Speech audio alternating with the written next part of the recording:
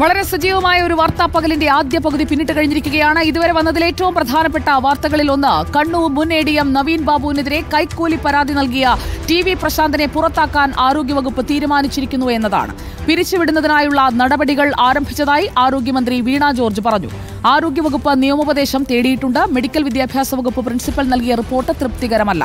ആരോഗ്യവകുപ്പ് principal secretary additional principal secretary എന്നിവർ നാളെ പരിയാരത്ത് പോകും. പ്രശാന്തനെ പോലെ ഒരാൾ സർവീസിൽ തുടരാൻ പാടില്ലെന്ന് ആരോഗ്യമന്ത്രി വ്യക്തമാക്കി.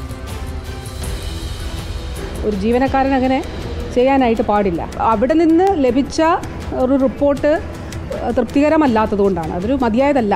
എന്ന് ഡി എം ഇ അറിയിച്ചത്. അങ്ങനെയുള്ള ഒരാൾ സർവീസ് വേണ്ട. വേണ്ട എന്നുള്ളത് തന്നെയാണ്. ഇതിന്റെ നിയമപരമായിട്ടുള്ള നിയമോപദേശം തേടിയിട്ടുണ്ട്. ഇയാൾ ഇനി റെഗുലറൈസ് ചെയ്യാനായിട്ട് ഉദ്ദേശിക്കുന്നില്ല. ഇയാൾ അങ്ങനെ ചെയ്തിട്ടുണ്ടെങ്കിൽ ഒരു തരത്തിലും അങ്ങനെയുള്ള ഒരാളെ മെഡിക്കൽ കോളേജിന്റെ ഈ പ്ര- പ്രവർത്തനത്തെ ഭാഗ- ഭാഗമായി മുന്നോട്ട് പോകാൻ അനുവദിക്കില്ല എന്നുള്ളതും നമ്മൾ റെഗുലറൈസേഷനിൽ മുന്നോട്ട് പോകണ്ട എന്ന് നമ്മൾ തീരുമാനിച്ചാൽ സർക്കാർ ജീവനക്കാരാവില്ല.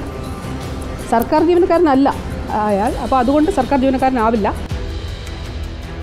ഉമേഷ് ബാലകൃഷ്ണൻ നൽകും വിവരങ്ങൾ. ഉമേഷ് ബാലകൃഷ്ണൻ ആരോഗ്യമന്ത്രി ടി വി പ്രശാന്തനെ പുറത്താക്കുമെന്ന സൂചന തന്നെ കൃത്യമായി നൽകുകയാണ്. ടി വി പ്രശാന്തൻ ഇപ്പോൾ കരാർ അടിസ്ഥാനത്തിൽ ജോലി ചെയ്തുകൊണ്ടിരിക്കുന്ന അതേ തസ്തികയിൽ സ്ഥിരപ്പെടുത്തുന്നതിനായിട്ടുള്ള പട്ടികയിൽ ഉൾപ്പെട്ടയാളാണ്.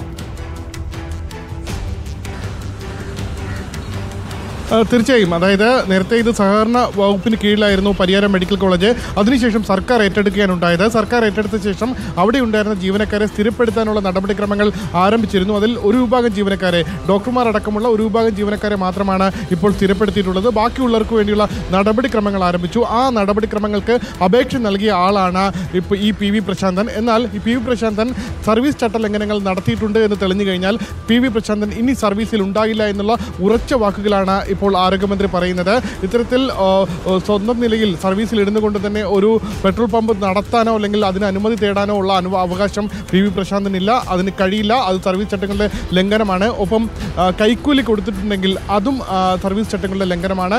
അതുകൊണ്ട് തന്നെ പി വി പ്രശാന്തിന്റെ സർവീസ് ചട്ടങ്ങളുടെ ലംഘനം കാണിച്ചുകൊണ്ട് തന്നെ ഈ നടപടിക്രമങ്ങൾ നിലവിൽ കരാറില്ല കരാർ വ്യവസ്ഥയിലാണ് ജോലി ചെയ്യുന്നത്. കരാർ വ്യവസ്ഥകൾ മാറ്റി സ്ഥിരം ചെയ്യണം സ്ഥിരം ജോലി നൽകണമെന്നുള്ള അപേക്ഷ അതിന്റെ പി എസ് സിയുടെ കൂടി അപ്പോയിൻമെന്റിന്റെ അടിസ്ഥാനത്തിലായിരിക്കും അങ്ങനെ ഒരു നിയമനം നൽകുക. അതിനു വേണ്ടിയുള്ള പേപ്പർ വർക്കുകൾ ഇപ്പോൾ തുടർന്നുകൊണ്ടിരിക്കുന്നു. അത് അവസാനിപ്പിക്കാനുള്ള നടപടിക്രമങ്ങളാണ് ഇപ്പോൾ ആരോഗ്യമന്ത്രി അഡീഷണൽ ചീഫ് സെക്രട്ടറി രാജൻ ഗോപുരകടയ്ക്ക് നൽകിയിരിക്കുന്ന നിർദ്ദേശം. നേരത്തെ ഡി എം ഇയോട് റിപ്പോർട്ട് ആവശ്യപ്പെട്ടത് പ്രകാരം പരിയാരം മെഡിക്കൽ കോളേജ് പ്രിൻസിപ്പൽ ഒരു റിപ്പോർട്ട് നൽകിയിരുന്നു. ആ റിപ്പോർട്ടിൽ വ്യക്തത കുറവുണ്ട് കാരണം ഇത്തരത്തിൽ ഒരു പെട്രോൾ പമ്പ് തുടങ്ങുന്നതുമായി ബന്ധപ്പെട്ട ഒരു അപേക്ഷയും തനിക്ക് ലഭിച്ചിട്ടില്ല എന്നാണ് പ്രിൻസിപ്പൽ നൽകിയ മറുപടിയിൽ പറയുന്നത്. ഒപ്പം ഇദ്ദേഹം പി യു പ്രശാന്തൻ ഏത് വകുപ്പിലാണ് കൃത്യമായി ജോലി ചെയ്യുന്നത് എന്നുള്ള വിശദാംശങ്ങൾ പോലും ഈ റിപ്പോർട്ടിലില്ല.